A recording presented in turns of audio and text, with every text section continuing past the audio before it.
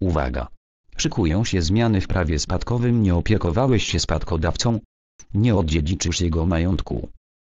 Ograniczenie kręgu uprawnionych do dziedziczenia ustawowego i rozszerzenie katalogu przesłanek niegodności dziedziczenia to zmiany w prawie spadkowym, które przewiduje projekt nowelizacji kodeksu cywilnego oraz innych ustaw.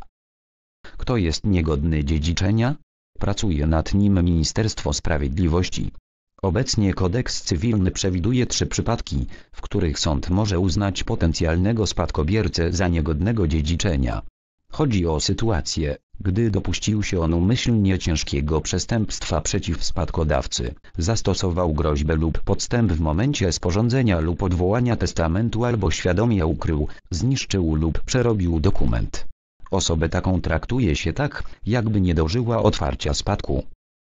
Ustawodawca chce, by katalog rozszerzyć o czwartą przesłankę, uporczywe uchylanie się od obowiązku alimentacyjnego lub opiekowania się spadkodawcą. Chodzi o to, by ktoś, kto w żaden sposób nie pomagał bliskiemu za życia, nie dziedziczył niezasadnie jego majątku. Kto może dziedziczyć spadek? Druga zmiana dotyczy zawężenia kręgu osób uprawnionych do dziedziczenia i wyłączenie z niego dalekich krewnych często w rzeczywistości nie utrzymujących kontaktów ze spadkodawcą. Regulacja będzie dotyczyła jednak jedynie dziedziczenia ustawowego. Testator zachowa pełną swobodę rozporządzania swoim majątkiem w drodze testamentu. Nowym rozwiązaniem będzie zawieszenie biegu terminu na złożenie oświadczenia o przyjęciu lub odrzuceniu spadku na czas trwania postępowania, jeśli wymagana jest zgoda sądu. To istotne dla małoletnich, w których imieniu muszą działać przedstawiciele ustawowi, co wymaga dodatkowej zgody sądu w osobnym postępowaniu. Obecnie termin na złożenie oświadczenia wynosi 6 miesięcy i nie można go wydłużyć.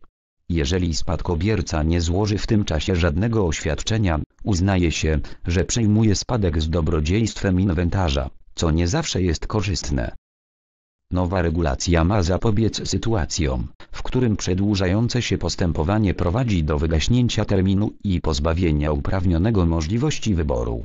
Nie będzie również konieczności prowadzenia osobnego postępowania przez sąd opiekuńczy.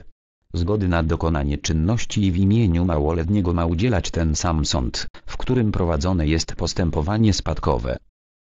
Większość regulacji ma zacząć obowiązywać po trzech miesiącach od ogłoszenia w Dzienniku Ustaw. Etap legislacyjny. Projekt w trakcie opiniowania. Autorka Inga Stawicka